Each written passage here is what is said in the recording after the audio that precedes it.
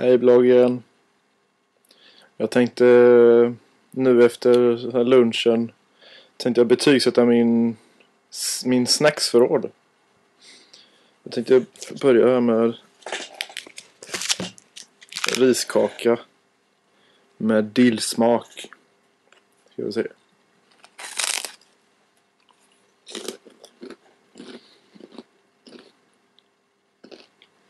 Nej, fy fan.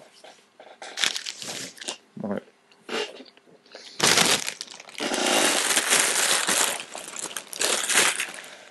Slät bulle.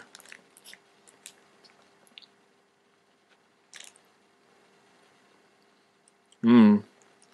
Jävligt god ja. Mm. Kan inte gå fel. Sen har vi här kanske mer nyttiga alternativet. Grönt äpple. Ska vi se.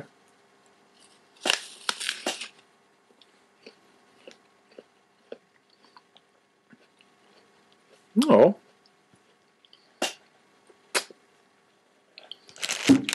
Bra för vårt äpple. Sen har vi lite Joker här. Eh, jag brukar inte köpa godis. Men eh, när jag ser en sån här exotisk grej till reapris. Då måste jag slå till. Kinder Pingu. I choklad. 3 spänn. 3,50.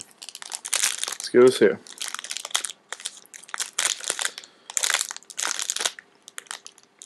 Det står inte hur mycket socker det är men jag antar att det är väldigt mycket.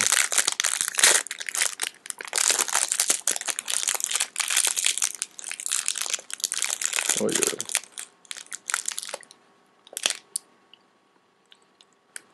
Mm. Det är någon...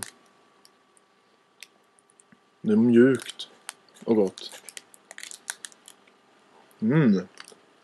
Mm.